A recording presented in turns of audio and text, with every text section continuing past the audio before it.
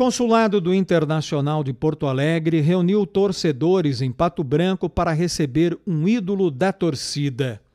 O consulado organizou um almoço para recepcionar Guinazu, que entrou no Internacional em 2007 e foi até 2012, encerrando sua passagem pelo clube.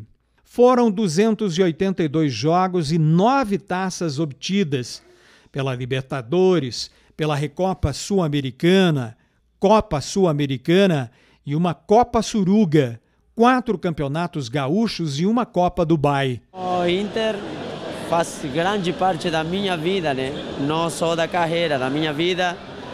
Tenho dois filhos que hoje são colorados, né? então é muita coisa. Vivenciei momentos maravilhosos, é, extraordinários aqui no, no Colorado. E eu só venho devolver um pouquinho do carinho né, do torcedor colorado. Só me abraçou desde o primeiro dia que eu cheguei em Porto Alegre, então não tenho mais do que agradecer para eles, né? E é um jeito de ficar perto deles. Oh, estamos em Pato Branco, né? Estado de Paraná, tem 600 quilômetros do Beira Rio. E tem Colorado, então imagina a força do, do nosso Inter, né? Consulado do Internacional tem muita força aqui em Pato Branco. São milhares de torcedores colorados e receber um ídolo sempre é um momento de alegria para celebrar.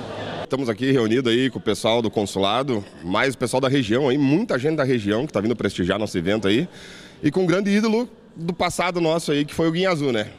Um cara que hoje faz falta no nosso time aí, e hoje a gente vem aqui para conhecer. Muita gente que não conhece aí vai estar tá, é, tendo a oportunidade de conhecer. Joel Salvador, vice-cônsul do Colorado, destaca que o consulado tem esta missão de manter a paixão pelo futebol e também realizar ações positivas para a comunidade em que está inserido. A gente tem a ação do bem que a gente faz, a gente iniciou no período da pandemia, né, com a arrecadação de cestas básicas e esse ano, se Deus quiser, a gente vai estar fazendo a quarta ação do bem, né, né no meio do, do calendário aí.